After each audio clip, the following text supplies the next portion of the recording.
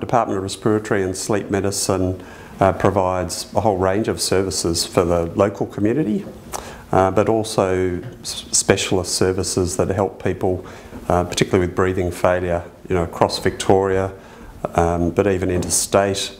Uh, and we've been, been involved in providing occupational health programs um, in our hospital locally.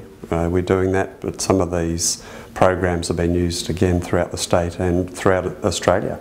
We were the first hospital in uh, Victoria to, um, to set up a pulmonary rehabilitation program. And so not just providing that service but then improving that service and um, through research um, providing uh, best practice uh, pulmonary rehabilitation for our patients. Um, the types of patients that we're treating have become more those with chronic diseases, chronic respiratory diseases, so we're talking asthma, COPD or chronic obstructive pulmonary disease, um, and also chronic fibrotic lung diseases, interstitial fibrosis, pulmonary fibrosis. People will have heard of asbestosis and asbestos related diseases, and of course lung cancer, um, which is a, a, major killer and, and is a major killer of both uh, women and men our um, intensive care is so busy, our hospital is so busy, there are so many patients coming through the emergency department now, many of whom who do, have, who do have respiratory diseases. So we're taking patients who are sort of sicker than, than we, we once would in the past. And the Institute for Breathing and Sleep uh, was founded really as the um, a, a research arm of the Department of Respiratory and Sleep Medicine here at the Austin. And, and what we do is we look at the problems finding answers to the problems that patients have with respiratory and sleep issues. Um, initially, um, we were, were, treating patients with tuberculosis, well not in my time, but patients with tuberculosis and infectious diseases such as polio, for example, which caused um, uh, immeasurable damage and caused patients to, to end up in iron lungs. We provide a service to help people um, become free from ventilation, so patients who've been stuck in intensive care units for prolonged periods of time on ventilatory support. We take those people from those units and help to gradually bring them off the ventilator. It's your breathing machine at night, so I have to have support because my oxygen levels drop so much when I'm asleep. He explained it as half my muscles need to sleep at night for me to function well in the day, and I wasn't getting that.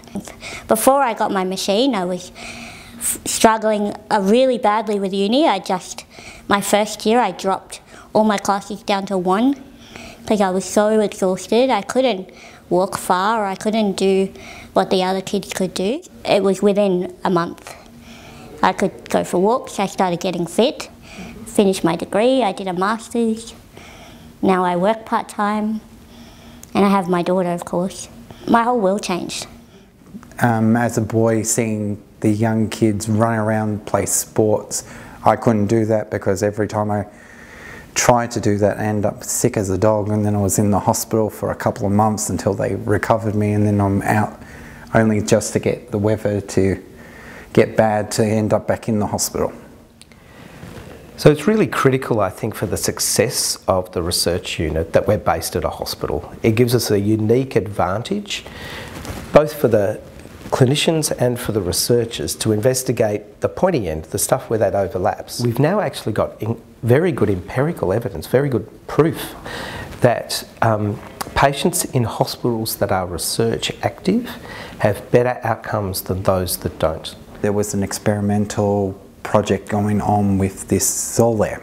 Normally I could only maybe run two or three houses and then I stop and my asthma was out of control. But on this experimental medicine, I was able to run two blocks, which is not normal. I, have got a quality of life that I wasn't expecting it. You're given this taste of actual, I can't explain to you. It's more like it's freedom, like a weight lifted off me and uh, with, I was able to do what normal people could do. So currently our, our service is fragmented. Um, we have uh, clinics in one area, laboratories in another area, and that creates challenges for patients. Um, we have patients with breathing difficulty who when they come to visit us have to visit the laboratories, come onto a clinic uh, and because they're short of breath that's very difficult for them. Um, it also means uh, that our team is fragmented um, and by bringing together our research laboratory and clinical services, I think that will provide a much better service for patients uh, and it will also make the, the team more productive uh, both clinically and also with our research work.